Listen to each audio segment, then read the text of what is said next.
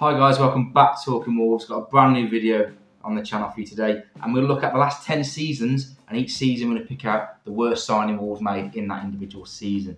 So going back 10 years, we're going to start off, this is the 13-14 season. This is obviously the season Wolves got promoted back to the Championship, so it was a very good season for the club overall. It's quite difficult to pick um, a player for this one, but the player I went for was Leon Clarke. And the reason why I've gone for Leon Clarke, obviously at Wolves before um, this, this spell, his second spell at the club, reason why I chose Leon Clarke, mainly because what he'd done already done in the season for Coventry. So he spent the first half of the season at Coventry and he scored 18 goals in 29 games. Um, he signed for Wolves in the January. He then made 30 appearances for Wolves, scoring one goal in the rest of that League One season. Um, now the reason why the fee was about £750,000 for him.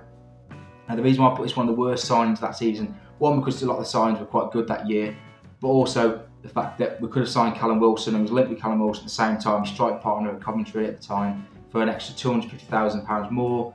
And we decided to go with Leon Clarke, who wanted the experience at the time. And obviously, look how Callum Wilson's playing now, and how that's worked out for him. Um, he didn't really seem to fit the side play at the time either. Um, he seemed to never really got a run of games. He was unlucky in of the team. Um, he seemed slow and lethargic. His body language was always like that. His body language was like that years ago when he first started for Wolves, so that isn't something that's changed over the years. Um, so that is definitely why Leon Clarke is the first one on the list, going back 10 years.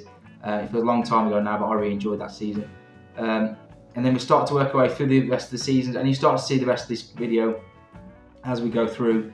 You start to realise how bad some of these Wolves players were that we used to sign compared to what we are now and what we've done now, and who the players been linked with. Some of these next few ones are really painful. It's painful to go back through some of this list, to be honest, and realise how far we've come. So the season after that was uh, was 14-15, and it was in the Championship. This one again was under Kenny Jackett, and we finished seventh place in the season, just missing out on the playoffs. The player I've gone for here was uh, Yannick Sagbo. Now Yannick Sagbo came on loan. He was brought in to give us a bit of a fo focal point, bit of a target man in the Championship. Uh, he came in from Hull um, and he, he made four appearances for Wolves and scored zero goals. He didn't fit the club at all, was moved on very quickly in that season. He moved back on sent back to Plymouth Corporate straight away. Didn't work, very slow, um, no sort of build up play. We couldn't play off him, he was so unfit, it, it was unbelievable. Uh, and then he was replaced by someone who, who are nearly put on this themselves. He was replaced by Danny Graham, who again he came on loan. Similar sort of amount of appearances, made five appearances, scored one goal. So in that in this champion in this season, the championship, I really struggled to find um, out between the two, between Yannick Sagbo and Danny Graham. Both strikers couldn't seem to make the grade at Wolves, uh, even though they had done previously at the levels. Uh, and that was basically quite a poor, poor season for Wolves in terms of strikers. Um, again, because Leon Clarke didn't work out the year before. So that's trying to find the players that worked, and neither of them worked really. Um, so that's why they're on this list. The next one is in the 15-16 season. Again, this is under Kenny Jackett, a 14th place finish for the season. Another painful, painful run on this was, was Grant Holt came in on loan, um, and he made four appearances for Wolves. He made a complaint combined playing times time of 81 minutes. He came on at Birmingham, I remember him, came on Birmingham away. Um, looked like a Sunday League player, so, so unfit. Um, he was the shadow, shadow of the player he was. I remember coming off the bench and the shirt looks looked tight on him, he didn't look like a footballer. Um, it was it was a really, really poor sign that was, and then he went back uh, pretty quickly after that as well. So that was another one of Kenny Jackett's signs that didn't particularly work out. Another one that could be mentioned from the 14, sorry, from the 15-16 season was also Jeremy Helan. He came on loan for Wolves, only made a couple of appearances. Then went back to Sheffield Wednesday and then retired pretty much quickly after that for um, religious reasons or for of love with the game. So retired altogether quite a young age. So that was one of the reasons, another reason why Grant Holt made it onto the list um, in those seasons. A couple of back-to-back -back seasons there. What you'll find out on this list, what you'll notice if you go through them, quite a lot of the players have been trying to replace the one before. So what's interesting is they never sort of, Wolves never really managed to replace the one they were trying to replace and they're almost chasing themselves for quite a few seasons. The season after that, 16, 17, this is Fosun's first season um, at the club. Wolves finished 15th and they were under Walter Zenga to start with and then Paul Lambert took over about halfway through. Now the one I'm going to mention, the famous one for a lot of Wolves fans, is Paul Gladon. Now Paul Gladon came in for £2 million uh, from the Dutch League, scored quite a few goals there. Uh, remember making his debut against Burton Albion, sorry Burton Albion, he came on, looked out of place straight away uh, in that division, he seemed to have no pace, lacked his sort of um, his mobility, his crosses come in, he could seem to get near anything. Um, and then he seemed to drop his the fitness, he then really got up to speed, then he seemed to drop out of favour. Um, and then they and then by the time he seemed to get up to speed or, or, or seemed to be Wolf Sengal had moved on very quickly. And then Paul Lambert was never really going to play him after that. He was had sort of championship players that he wanted to play. Um, so he's moved back to Dutch league then. Uh, he's gone to have relative success in that league. He's still scoring goals now at the top level in, in Holland. Um, so he's going to have a fairly decent career. But for Wolves, he always makes the other makes the joke that he, he, he, he tried more Wolves restaurants did actually appearances because he only made three appearances for Wolves and no goals. That was almost two million pounds wasted for Wolves really. Uh, the next one is the 17-18 season. This is the season Nuno's first season. This is the season Wolves were champions uh, of the Championship. Now again, this was a tough season because Wolves signed lots and lots of good players this season. And the one I went for was Phil Ofosu-Ayeh. Now he was a right back we brought in from the German second division. He was a free transfer, um, and he came in, and he was a full Ghana international at the time. We played maybe one appearance for Ghana at the time, um, and he struggled to get fit. He never really got fit for Wolves. They signed him, um, and it and it never really worked out. He, he couldn't get up to speed. Obviously, Doherty was having a season anyway. Um, and they moved him on after a year. Never played for Wolves. Came in, never saw him play, um, and has moved on. Again, that season was a tough one because there's so many good players Nuno brought in and Wolves brought in that had real big impacts that season. Again, another mention I could have gone for Roger Miranda. Uh, he started quite strongly, but then again he dropped out of favour pretty quickly in the league. Um, we couldn't really get he couldn't get into the squad, uh, and physicality he struggled with, concentration he struggled with. Uh, so I could have gone Roger Miranda, but he actually played about 18 times for Wolves. So I went for Fuller favour because he never actually played for Wolves. And that was someone who never really uh, kicked on his career next. So the next one up is the 18-19 season. This is Wolves' first season back in the Premier League. They finished seventh in the league and they got to the FA Cup semi-final. Now this is probably one of the most difficult ones I had to do was because uh, this transfer window is probably Wolves' strongest transfer window they've done for a long, long time. I don't really feel like they've matched this sort of level ever since then in terms of consistency I probably every player they brought in had a good Wolves career, uh, pretty much. So I went with Leander Dendoncker. This was his loan season, so before he signed as permanent. Um, he's a 1.5 million loan fee. Came in for, made 26 appearances and scored two goals. Now the reason why I put him on this list is because of his start towards his Wolves career rather than obviously where he finished. So he arrived.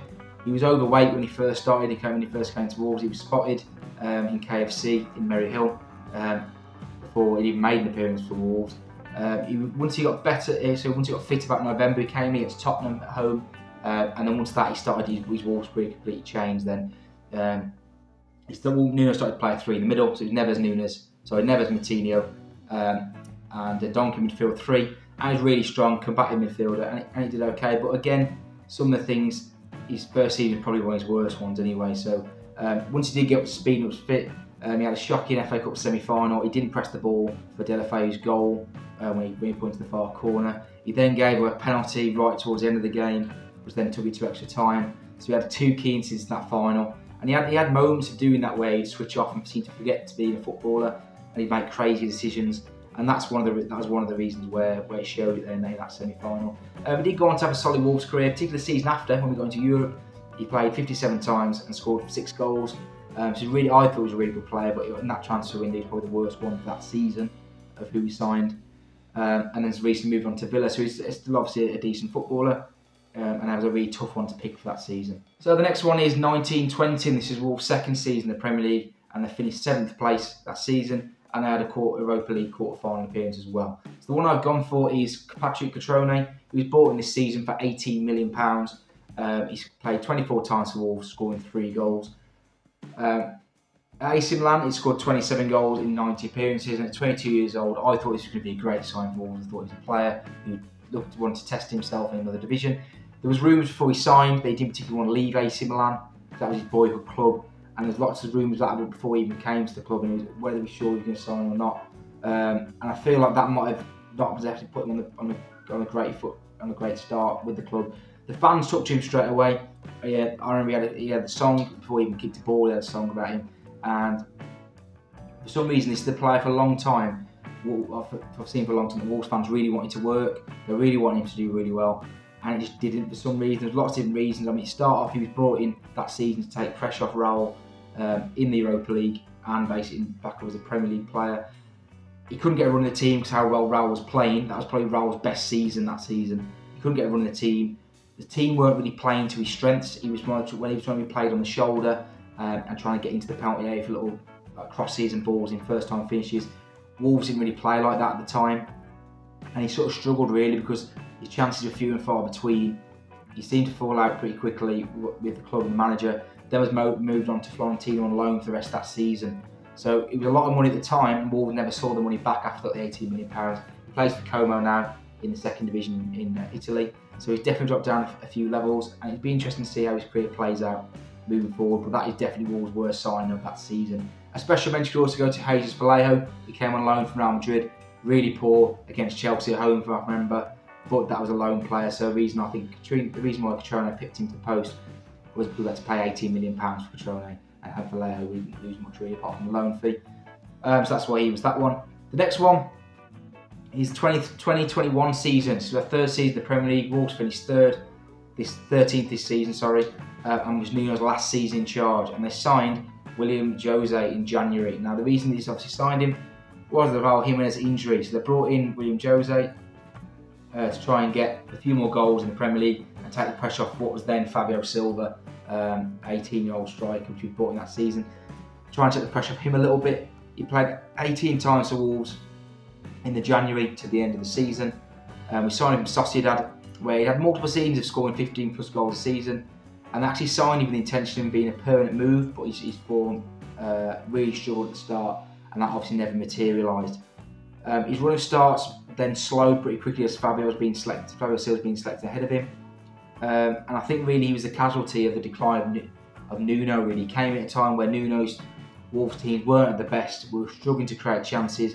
We were playing really poor football at the time, um, and it just didn't work out for him. He, he, he, had a couple of goals ruled out for VAR. Um, he scored one goal in his, in his time, and he's never seen look like scoring again. Again, he seemed very sluggish um, for the Premier League.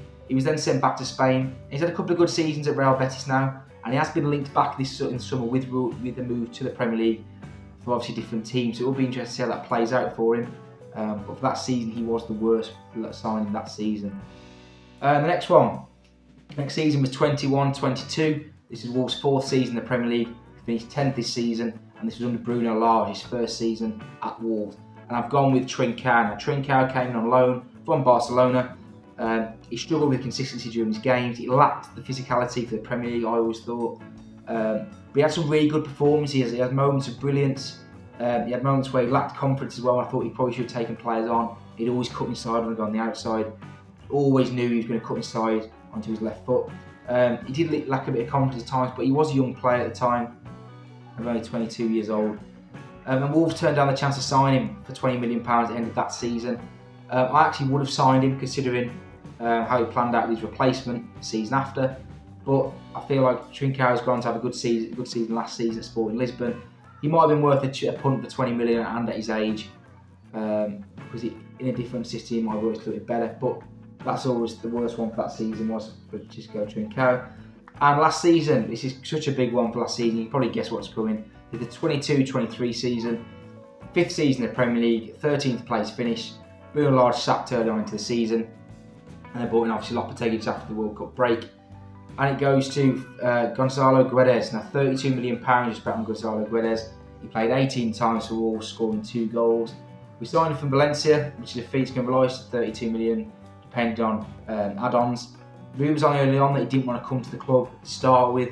Um, Mendes had a big say in that deal, and we don't know whether uh, he actually wanted to come in the first place. That was always a rumour when he actually joined and I wonder why the, the involvement from Mendes is probably the reason why the club have now moved away potentially from having him such an involvement in big deals. Because um, again, like Trincao, Aguero struggled with the physicality of the Premier League, often with sloppy possession, physically uh, out strength. He showed his class in a great goal against uh, Brighton, um, where he's played in behind with a really good finish.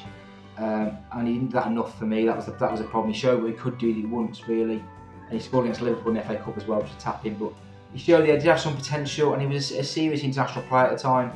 But if you don't want to be there, you don't want to be the club, he's definitely had a big impact on performances. And I feel like, judging what's happened since then, he clearly didn't want to be at the club. He's lying to Benfica in the January, it was in January just gone, the second half of the season there. And it looks like he's going to stay there for next season as well on loan. The question is now, how much of that massive transfer fee can Wolves actually get back? Um, they're probably not going to see all of that money back. Um, but we're just going to see in terms of what happens probably 32 million pounds. He's unlikely to see all that back. So um, we'll see. So hopefully you liked that bit of video there. Look at the past 10 seasons. There's some classic names in there you probably haven't heard for a long time. Uh, obviously for the right reasons as well, because some of them are absolutely terrible. Shock us. And you, remember, and you realise in, in retrospect how far Wolves have actually come in the last 10, 10 seasons.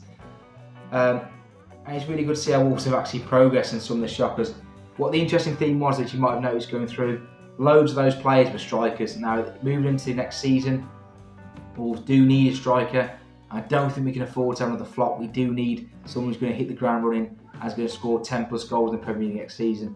Otherwise, I think we are going to be in serious trouble because we have been lacking, lacking goals at Wolves for a couple of seasons now. And I think that is something we've nearly got to focus on. So if you enjoyed that video, please subscribe to Talking Wolves. Get in the comments below with any players that I missed that you should have put in, that I think I should have put in there. Um, and please keep an eye on the channel. We've got loads and loads of transfer videos coming up and loads of things to do with pre-season. So thanks for watching that video and I'll catch you in the next one.